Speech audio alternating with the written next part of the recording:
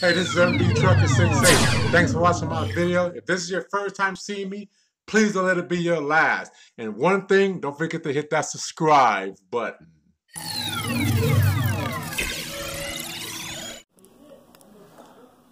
Hello everybody, it's MB Trucker 68. How's everybody doing today? Um, I want to make a video today. Today's uh, video is going to be called Don't Wait to Get Something Until You Try to Change. And what I mean by that is, is, you know, us as individuals, including myself, we always wait to get, you know, a sickness or disease, then we want to make a change. So, you know, don't wait to get sick. Don't wait to get a disease. You know, don't wait to come down with something and decide, oh, you know what, let me change now. Like most of us, you know, and like I said, I was guilty of that. Um, you know, in my case, you guys all know, but if you don't know, you know, I came down with diabetes a year ago and then you know so I decided to change after that. But you know and before that time I was warned by my doctor that you know, I'm pre-diabetic. If I don't make a change I'm going to get diabetes. So with that being said you know just want to say don't wait for something to happen uh, you know before you make a change. Because sometimes it's too late sometimes it's not. You know I got one of my um I got a friend of mine that um he goes by Chuck Chillout, and you'll see him. He's in a lot of my comments. He's he's one of my biggest haters, as a matter of fact. You know, as far as comments concerned, he's always hating in the comment section. but um, uh, I actually have a couple of friends that just come to my video just to read the comments. You know, for this idiot. But anyway, um, the reason I brought him up is that you know he.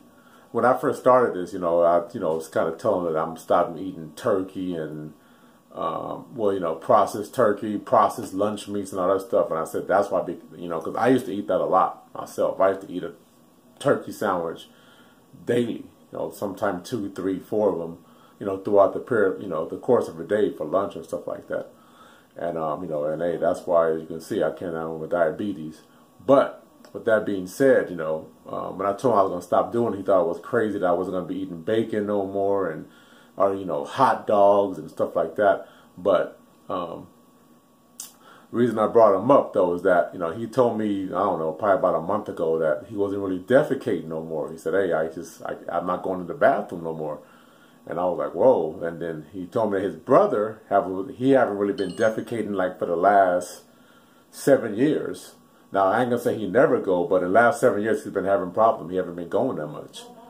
So you know, uh, but he didn't really think none too much of it. Then last Sunday, um, last Sunday, he said his brother was at home and you know his stomach started hurting real bad. He threw up, and then on Monday he was just hurting really bad. He went to the hospital, and come to find out, you know, he had a um, a tumor the size of a a baseball or a lemon in his colon, and then he has stage three, you know, colon cancer now.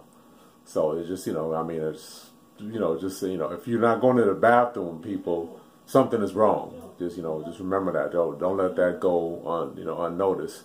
I've had a cousin, you know, um, she died of colon cancer also, like about a year or two ago. Um, so just something, you know, just so I just wanted to bring, you know, bring that up. You know, don't wait to get sick and, you know, see see something like that abnormal, you know, take notice of it you know, because you know, you know, if you get cancer, as you know, that's that's some serious business right there. So I just wanted to, you know, bring that up. And now, but anyway, now so the friend was Chuck Chillout, and he's doing, you know, he's uh, him personally, he's been doing things now, and he's um, he's actually juicing now and stuff like that, and he's actually doing better. But you know, like I said, it's unfortunate for his brother, he still has stage three colon cancer. So want to just you know make a quick video and just you know talk about that. But just just remember that you know don't wait to get sick to want to make a change. Just remember if you're doing something and you know you know it's not right, well if you keep doing it, just you know remember you um nobody's exempt from you know the stuff I'm talking about. So um okay, well you know I just wanted to make a little quick one. I just want to you know just throw that out there. You know like just giving little examples and stories of things like that.